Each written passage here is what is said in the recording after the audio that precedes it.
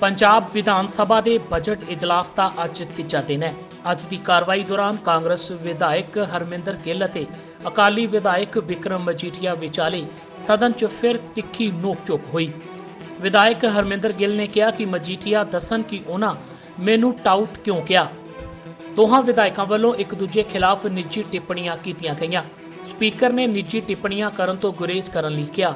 ਬਾਅਦ 'ਚ ਸਦਨ ਦੇ ਬਾਹਰ ਵਿਕਰਮ ਮਜੀਠੀਆ ਨੇ ਹਰਮਿੰਦਰ ਗਿੱਲ ਉੱਤੇ ਕਈ ਗੰਭੀਰ ਆਰੋਪ ਲਗਾਏ। ਮਜੀਠੀਆ ਨੇ ਕਿਹਾ ਕਿ ਕਾਂਗਰਸ ਦੇ ਕਈ ਸੀਨੀਅਰ ਆਗੂ ਵੀ ਹਰਮਿੰਦਰ ਗਿੱਲ ਦੇ ਕਿਰਦਾਰ ਤੋਂ ਵਾਕਿਫ ਨੇ। ਇਸ ਲਈ ਉਹ ਸਦਨ ਅੰਦਰ ਚੁੱਪ ਰਹੇ।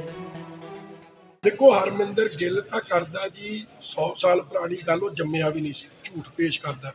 ਮਗਰ ਮੈਂ ਤਾਂ ਅਸਲੀਅਤ ਦੀ ਰਿਕਾਰਡ ਦੱਸੀ। ਮੈਨੂੰ ਤੁਸੀਂ ਸਾਰੇ ਪੱਤਰਕਾਰਾਂ ਨੂੰ ਹੱਥ ਜੋੜ ਕੇ ਬੇਨਤੀ ਦੋ ਤਿੰਨ ਗੱਲਾਂ ਦਾ ਜਵਾਬ ਲੈ ਦਿਓ। ਬੀਐਨ ਤਿਵਾੜੀ, ਮਨੀਸ਼ ਤਿਵਾਰੀ ਦੇ ਫਾਦਰ ਦਾ ਜਦ ਕਤਲ ਹੋਇਆ, ਮਨੀਸ਼ ਤਿਵਾਰੀ ਮੇਰੇ ਬੜੇ ਸਤਿਕਾਰਯੋਗ ਨੇ ਔਰ ਉਹ ਇਸ ਗੱਲ ਨੂੰ ਦੇਖੋ ਪਿਓ ਪਿਓ ਦਾ ਔਰ ਅਸਲੀਅਤ ਦਾ ਹਮੇਸ਼ਾ ਮਨੀਸ਼ ਤਿਵਾਰੀ ਜੀ ਨੇ ਸਾਥ ਦਿੱਤਾ ਹੈ। ਉਸ ਬੀਐਨ ਤਿਵਾੜੀ ਸਾਹਿਬ ਦਾ ਜਦ ਇੱਥੇ ਕਤਲ ਹੋਇਆ, ਉਹ ਕਤਲ ਕਰਨ ਵਾਲਾ ਕੋਈ ਹੋਰ ਨਹੀਂ ਸੀ। ਦਸ਼ਮੇਸ਼ ਰੈਜੀਮੈਂਟ ਇਹਨਾਂ ਨੇ ਬਣਾਈ ਸੀ, ਕਰਕੇ ਕੌਣ ਗਿਆ ਸੀ? ਹਰਮਿੰਦਰ ਗਿੱਲ। ਇਹਨੇ ਲਿਖਤੀ ਹੈਂਡ ਰਿਟਨ ਸੀਬੀਆਈ ਦੇ ਡਾਕੂਮੈਂਟ 'ਚ ਉਹ ਹੈਂਡ ਰਿਟਨ ਨੋਟ ਇਹਦਾ ਲੱਗਿਆ। ਉਹ ਰੈਕਗਨਾਈਜ਼ ਹੋਇਆ ਕਿ ਇਹਦੀ ਹੈਂਡ ਰਿਟਨ ਹੈ। ਉਹ ਬੰਦਾ ਜਿਹਨੇ ਟਾਊਟੀ ਕੀਤੀ ਹੈ, ਬੰਦਾ ਟਾਊਟ ਮੈਂ ਕਿਉਂ ਕਿਹਾ ਉਹਨੂੰ? ਜਾਂ ਉਹਨੂੰ ਇੱਕ ਗੱਲ ਪੁੱਛ ਲਓ ਕਿ ਉਹ ਸੰਤ ਜਰਨੈਲ ਸਿੰਘ ਪਿੰਡਰਾਲਾ ਜੀ ਨੂੰ ਸ਼ਹੀਦ ਮੰਨਦਾ ਕਿ ਨਹੀਂ ਮੰਨਦਾ? ਕਿ ਉਹ ਇੰਦਰਾ ਗਾਂਧੀ ਨੂੰ ਸ਼ਹੀਦ ਮੰਨਦਾ? ਭਾਈ ਅਮਰੀਕ ਸਿੰਘ ਨੂੰ ਸ਼ਹੀਦ ਮੰਨਦਾ ਕਿ ਨਹੀਂ ਮੰਨਦਾ? ਕਿ ਉਹ ਇੰਦਰਾ ਗਾਂਧੀ ਨੂੰ ਸ਼ਹੀਦ ਮੰਨਦਾ? ਔਰ ਮੈਂ ਉਹਨੂੰ ਪੁੱਛਣਾ ਚਾਹੁੰਦਾ 84 ਤੇ ਜਿਹਨੇ ਟੈਂਕਾਂ ਤੋਪਾਂ ਨਾਲ ਸ੍ਰੀ ਹਰਮੰਦਰ ਸਾਹਿਬ ਤੇ ਅਟੈਕ ਕੀਤਾ ਹੋਵੇ, ਗੋਲੀਆਂ ਸ੍ਰੀ ਗੁਰੂ ਗ੍ਰੰਥ ਸਾਹਿਬ ਨੂੰ ਮਾਰੀਆਂ ਹੋਣ, ਉਸ ਬੀਬੀ ਦੇ ਨਾਲ ਤੂੰ ਅੱਜ ਖਲੋਤਾ, ਉਸ ਪਾਰਟੀ 'ਚ ਉਹ ਪਾਰਟੀ ਜਿਹਨੂੰ ਇੰਦਰਾ ਗਾਂਧੀ ਨੂੰ ਮਾਂ ਕਹਿੰਦੀ ਹੈ, ਉਸ ਨੂੰ ਮਾਂ ਕਹਿਣ ਲਈ ਤੂੰ ਇੱਥੇ ਖਲੋਤਾ, ਤੂੰ ਟਾਊਟ ਨਹੀਂ ਤੇ ਕੀ ਹੈ?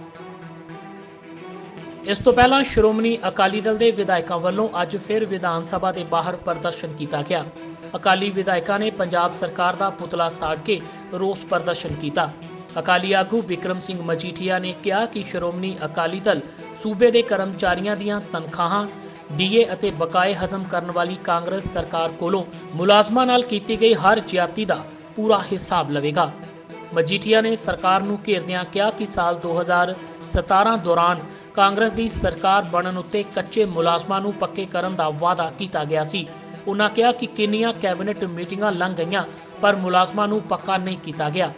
ਪਿਛਲੇ 4 ਸਾਲਾਂ ਦੌਰਾਨ ਕਾਂਗਰਸ ਦੀ ਜ਼ੀਰੋ ਕਾਰਗੁਜ਼ਾਰੀ ਪ੍ਰਤੀ ਪੂਰੇ ਪੰਜਾਬ ਦੇ ਲੋਕਾਂ ਦੇ ਮਨਾਂ 'ਚ ਭਾਰੀ ਰੋਸ ਹੈ। ਮੁਲਾਜ਼ਮਾਂ ਦੇ ਮੁੱਦਿਆਂ ਨੂੰ ਲੈ ਕੇ ਅੱਜ ਸਰਕਾਰ ਨੂੰ ਅਸੀਂ ਘੇਰਨਾ ਹੈ। ਦੇਖੋ, ਇਸ ਸਰਕਾਰ ਦਾ 2017 ਦਾ ਜਿਹੜਾ ਵੱਡਾ ਵਾਅਦਾ ਸੀ ਸਭ ਤੋਂ ਪਹਿਲਾ ਵਾਅਦਾ ਸੀਗਾ ਕਿ ਕੰਟਰੈਕਚੁਅਲ EMPLOYEES ਨੂੰ ਪੱਕੇ ਕਰਾਂਗੇ, ਕੱਚੇ ਨੂੰ ਪੱਕੇ, ਪਹਿਲੀ ਕੈਬਨਿਟ 'ਚ। ਕਿੰਨੀਆਂ ਕੈਬਨਿਟ ਲੰਘ ਗਈਆਂ ਇੱਕ ਬੰਦੇ ਨੂੰ ਵੀ ਪੱਕਾ ਨਹੀਂ ਕੀਤਾ। ਉਲਟਾ ਪੋਸਟਾਂ ਖਤਮ ਕਰਨੀਆਂ ਸ਼ੁਰੂ ਕਰਤੀਆਂ ਨੇ। ਦੂਜਾ ਵਾਅਦਾ ਕੀਤਾ ਸੀ ਕਿ ਜਿਹੜਾ ਪੇ ਸਕੇਲ ਦੀ ਗੱਲ ਸੀ ਪੇ ਕਮਿਸ਼ਨ ਦੀ ਪੇ ਕਮਿਸ਼ਨ ਅੱਜ ਤੱਕ ਨਹੀਂ ਲਾਗੂ ਹੋਇਆ। ਪੇ ਕਮਿਸ਼ਨ ਦੀਆਂ 100 ਤੋਂ ਵੱਧ ਡਰਾਮੇ ਕਰਤੇ ਮੀਟਿੰਗਾਂ ਦੇ ਕੀ ਇਹ ਜਿਹਾ ਫੈਸਲਾ ਕਰਨਾ ਚਾਹੁੰਦੇ ਦੇਣਾ ਹੀ ਨਹੀਂ ਚਾਹੁੰਦੇ। ਫਿਰ ਪੰਜਾਬ ਪੇ ਸਕੇਲ ਖਤਮ ਕਰਕੇ ਸੈਂਟਰਲ ਪੇ ਸਕੇਲ ਲਾਗੂ ਕਰਨਾ। ਟੀਏ ਡੀਏ ਅਰੇਅਰਸ ਐਡਾ ਵੱਡਾ ਧੋਖਾ, ਧੱਕਾ ਤੇ ਫਰਾਡ ਕਿ ਉਹਨਾਂ ਦੇ ਸਾਰੇ ਟੀਏ ਡੀਏ ਖਾ ਗਏ।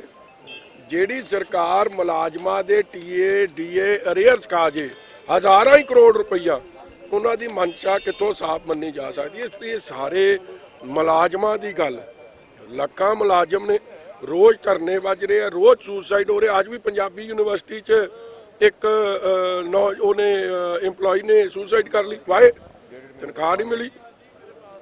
ਇਸ ਲਈ ਅਨਸਾਰੀ ਦਾ ਕੇਸ ਲੜਨ ਲਈ ਪੈਸੇ ਹੈ, ਮਗਰ ਮੁਲਾਜ਼ਮਾਂ ਨੂੰ ਦੇਣ ਲਈ ਪੈਸੇ ਦੱਸ ਦਈਏ ਕਿ ਲੰਘੇ ਕੱਲ ਵੀ ਸਦਨ ਦੀ ਕਾਰਵਾਈ ਦੌਰਾਨ ਵਿਕਰਮ ਮਜੀਠੀਆ ਤੇ ਹਰਮਿੰਦਰ ਸਿੰਘ ਗਿੱਲ ਵਿਚਾਲੇ ਤੂ ਤੂ ਮੈਂ ਮੈਂ ਹੋਈ ਸੀ। ਅਤੇ ਦੋਵੇਂ ਇੱਕ ਦੂਜੇ ਦੇ ਪਰਿਵਾਰਿਕ ਇਤਿਹਾਸ ਨੂੰ ਲੈ ਕੇ ਇਤਰਾਜ਼ਯੋਗ ਟਿੱਪਣੀਆਂ ਕਰ ਰਹੇ ਸਨ। ਸਤਿ ਸ਼੍ਰੀ ਅਕਾਲ ਜੀ, ਮੈਂ ਨਿਰਮਲ ਮਾਨ ਪੂਰਾ ਟੈਕਸਟਾਈਲ ਮਿਲ ਤੋਂ ਇਹ ਤੁਸੀਂ ਵੀਡੀਓ ਦੇਖ ਰਹੇ ਸੀ ਟੀਵੀ ਪੰਜਾਬ ਦੇ ਉੱਤੇ। ਇਹੋ ਜਿਹੇ ਹੋਰ ਜਾਣਕਾਰੀ ਭਰਪੂਰ ਵੀਡੀਓ ਦੇਖਣ ਵਾਸਤੇ ਟੀਵੀ ਪੰਜਾਬ ਦੇ ਚੈਨਲ ਨੂੰ ਸਬਸਕ੍ਰਾਈਬ ਕਰੋ ਤੇ ਨਾਲ ਹੇਠ ਦਿੱਤੇ ਹੋਏ ਬੈਲ ਆਈਕਨ ਦੇ ਬਟਨ ਦਬਾਓ। ਸਤਿ ਸ਼੍ਰੀ ਅਕਾਲ।